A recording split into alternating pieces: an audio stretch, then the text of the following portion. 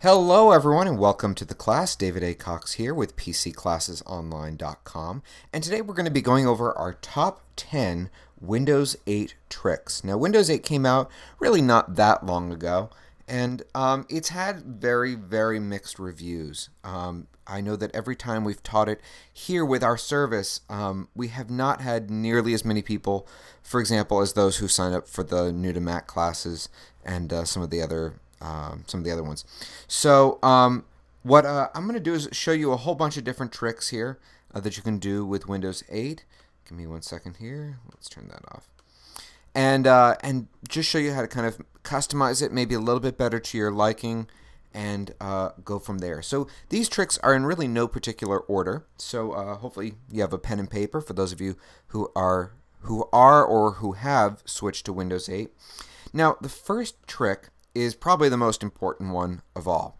For those of you who've been using Windows 8, you know that one of the things they removed was the Start button. You may notice if you're looking at my screen right now that I actually do have it, and there's a way that you can get it back.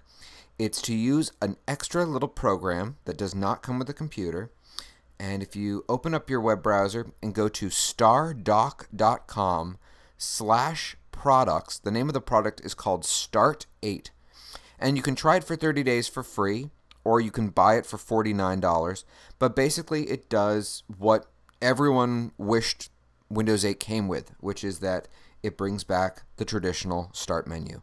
So for those of you who missed that here you go. It's back. Um, so that's a really really nice feature to be able to bring back. I wish that Microsoft had given you the option to have that instead of making you pay uh, extra money to bring back a feature that they took away but there is at least an option to, uh, to bring it back should you want it. The next trick I want to show you is sometimes people like to run apps side by side. The ability to run two tabs, two apps on the same screen. Here's how you do it. Um, the one that most people like to have is something like weather. So let's say I want to have weather while also being able to use the desktop at the same time. Here's how you do it. You go to the weather app on the uh, on the main page. And now what you're going to do is if you if you know how to close a program in Windows 8, basically the way you do is you put your cursor at the very top of the screen, click and drag down. But instead of dragging down, what you're going to do is you're going to drag it to the left or right. And when you do that, it'll snap to the side of the screen. And so now what I can do is go back and click on desktop. And so now I have my desktop over here and I have my weather over here on the left hand side. The downside to this is that unfortunately, I wish that there was the ability to resize this so you can make it a little bit larger or a little bit smaller. You will see as I start to just barely make it a little bigger, it just snaps right back or it takes over the entire screen. There really is not a lot of ability to truly customize the look of it. Okay? And that's how you run two apps at the same time. I have a feeling we're going to blow through this class today, so hopefully those of you who are here live have questions. We can get them answered for you. Uh, another feature that a lot of people like to have access to. Now, let me, right now, let me, oh, you know what? Let me throw this in here. This was not on my list, but I feel like it's something we should go over. Let's say you have two apps open at the same time and you want to close one of them. The way you do it is you'd put your cursor over here on this bar. You see these three dots right here? You're just going to click and drag it to the left and kind of push it out. Now, technically speaking, that app is still running right now in the background, minimally, but I'm going to show you in a little bit how to end that from running. We'll go there in a little bit. The next trick is we're going to talk about how to group like apps together. So for example, when I go to the Windows 8 menu, you'll see here we have a whole bunch of different apps here that I've just downloaded. Um, I don't really use Windows 8 a hell of a lot, but for example, I have a whole bunch of different recipe apps. You might have a bunch of travel apps. And when you first get these, they're all kind of just jumbled together. There's no particular order. So what I want to do is show you how to create categories of these different apps. And the way you're going to do that is if you put your cursor at the very, very bottom right corner, there's a tiny minus symbol. And when you do that, it kind of pushes back. So let's say that I have uh, a group of apps here that I want to categorize. So what I'm going to do is I'm going to right click on that group, okay? And when I do that, I get this little pop-up bar down here at the bottom, and you'll see that one of my options at the very bottom left is name group. So in this case, I'm just going to call this group other, click name, and now that category will stay there. And if you want to move any of these apps around, like let's say for example, Kayak here should be in other, all I have to do is click, drag, and drop it to whichever slot I want it to go into. I'll move it back since it doesn't really need to go there. Now, as you start to gather more and more applications um, and you start to have them open at the same time, you don't necessarily want to constantly have to go back and forth switching between these different items. So I'm going to show you a really fast way to switch back and forth. And the way you're going to do it is on your keyboard, you're going to hold the Alt key and you're going to tap Tab. And when you do that, you'll see here I can see all of the applications that I currently have open.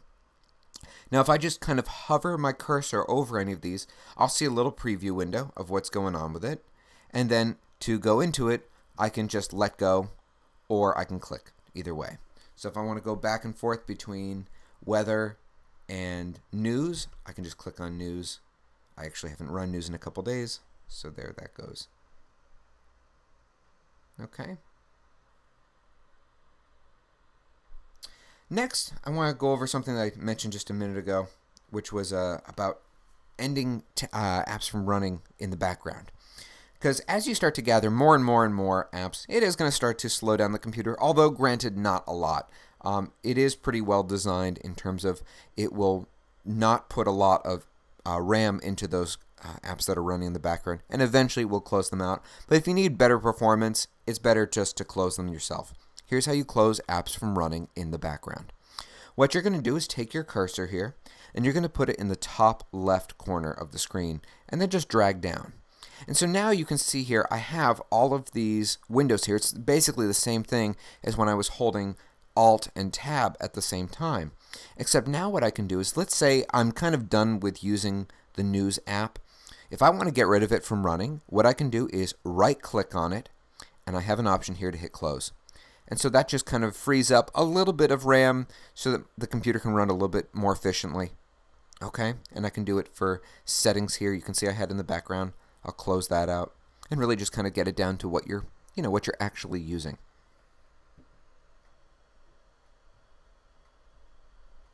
Uh, let's see here. Next, ah, if you've been using Windows 8 for a while, you know one of the things that you have access to is something called the Charms bar, which is down here at the bottom right.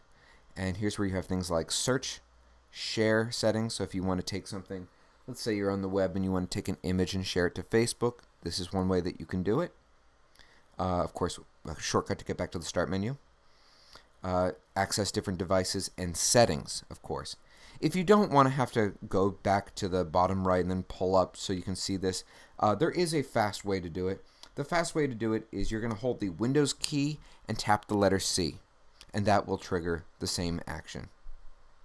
Okay? That's a little shortcut that's good for you to know.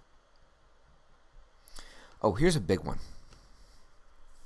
You know, a lot of times I work with people, and um, for example, we have our little remote support service that we offer people, which, by the way, I might as well throw it out there um, for all of you. Let's say you're on your computer and you have a problem or something like that. One of the services we do offer, and you can get it through PC classes online, is a service called Instant Guru. And basically, it's uh, a small application that's on your computer. If you have a problem, you call us, click on this application, and we can take over your computer and help you resolve the issue without you obviously having to bring it in or anything like that. So what you do is you go to, to our website, go to Instant Guru, and then just click on the version that's right for your computer. So for example, the Windows version, you download it right here. For the Mac version, you download it right here. Okay. And uh, it's using a technology called TeamViewer, which uh, if you're in business and you need to constantly remote into computers, it's a fantastic application. Highly recommend it. But the problem that I've run into before with some clients is that they go and they download it and they don't know where their stuff downloads to. which some of you might find silly, but there's a lot of people who don't know how to access their downloads folder. So, especially if there's any kids here who are taking this class or, or happen to see this video on YouTube, this this video is going to be published so that the public can see it. If you have a parent that's using um, that's using Windows 8, this is a really good trick for them. Just if you're trying to help them with something, it's nice to give them an easy shortcut so that they can access their downloads folder. Here's how you do it. When you're on the desktop screen, you're going to click down here and you're going to open up your File Explorer. Okay? Now, over here, you should see a folder called Downloads uh, listed under Favorites. If you do not see it under Favorites, it's uh, going to be probably right around here under Libraries or in Documents, rather, is what I meant. So what you're going to do here is you're going to right-click on this folder called Downloads. When you do that, you're going to get a whole bunch of different options here. And the one that you're going to want to do is go down here to Send To, and you can either, I'd probably recommend doing a desktop shortcut. So what that just means is now when you look on my desktop, there's a little folder here called downloads and anything that I download, whether it's through email or through the web, that's going to be the place where it's going to go. All right? So that's a, a really easy way to get access to that information. Next, let's see, what's next on our list? Ah, next we're going to talk about uninstalling apps. You know, in the past you had to go to Control Panel and add remove programs. So there's an easier way to do it now if it's something that you um, if it's something you downloaded uh, through the App Store. So the way you're going to do it, it's actually very simple, is let's say I want to get rid of games right here, okay? What I'm going to do is I'm going to right click on the app and at the very bottom, you'll see here, we have this little menu bar that popped up. Here's the option to uninstall. It's just a really, really easy way um, to uninstall apps. So it's a hell of a lot less hassle than before. I'm not going to do that.